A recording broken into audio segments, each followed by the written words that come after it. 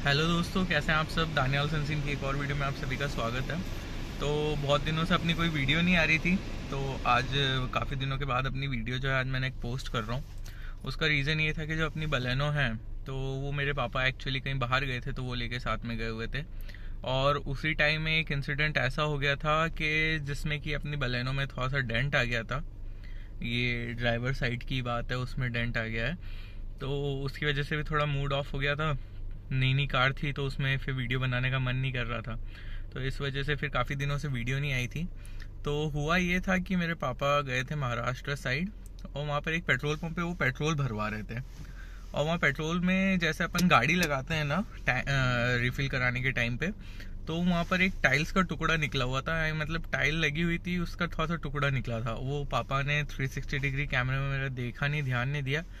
कुछ भी हुआ होगा वो वो जो है वो साइड से स्क्रैच मार गया। स्क्रैच ऐसा मारा कि अच्छा खासा डेंट लग गया है उसमें। तो मैं अभी आपको एक बार उतरता हूँ और वो भी मैं आपको दिखाता हूँ कि कैसा क्या उसमें हो चुका है। डेंट थोड़ा अच्छा खासा आ गया है उसको मैं जा रहा हूँ रिपेयर कराने। कैसी क्या उसकी कॉस्टिंग वगैरह आएगी वो सब मैं आपको उसका बता दूँगा। और मैं इसे आ, मतलब मार्केट आउटसाइड मार्केट नहीं करवा रहा हूँ इसे मैं करवाऊँगा तो जो बॉडी शॉप होती है मारुति की पर्टिकुलर उसमें ही करवाऊँगा इसे मैं। तो चलिए मैं आपको दिखा देता हूँ पहले कि कैसा क्या डेंट आया हुआ है उसमें। तो ये देखिए, ये देख सकते हैं आप, ये जो है स्क्रैच और ये कुछ इसमें डेंट आया है।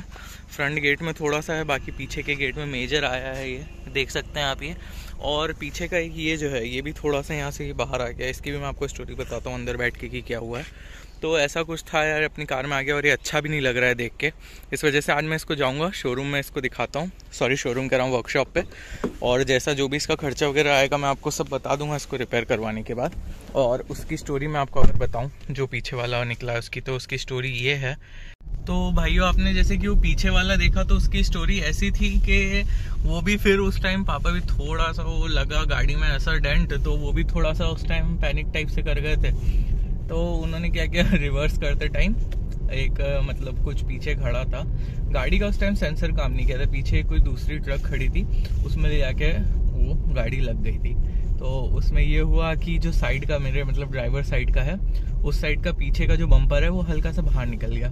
मैं सोचा उसे अच्छे से मतलब पुश कर दूँ, पर वो काफ़ी हार्ड है तो मैंने पुश नहीं किया। मैंने सोचा कहीं और अंदर के कोई लॉक वगैरह उसके टूट ना जाए। इसलिए शोरूम पे तो जाना ही मतलब अपने वर्कशॉप पे जाना ही है डेंट रिमूव करवाने पेंट करवाने। तो वो भी अपन वहीं पे दिखा लेंगे। तो ऐसा कुछ सीन था यार, इस वजह से जो वीडियो नहीं आ पाई थी, उसके लिए आप सभी से सॉरी फिर भी आप सब भाई लोग का बहुत प्यार था। मैंने कल एक कम्युनिटी पोस्ट डाली तो उसमें भी काफ़ी भाइयों ने पूछा कि कैसे हुआ, क्या हुआ? मतलब टेंशन थी देख के अच्छा लगा ये सब। तो जैसा भी अब कुछ होता है तो मैं आपको अपडेट करता हूँ। अभी हो सकता है कि नेक्स्ट एक दो दिन और कोई वीडियो ना आ पाए।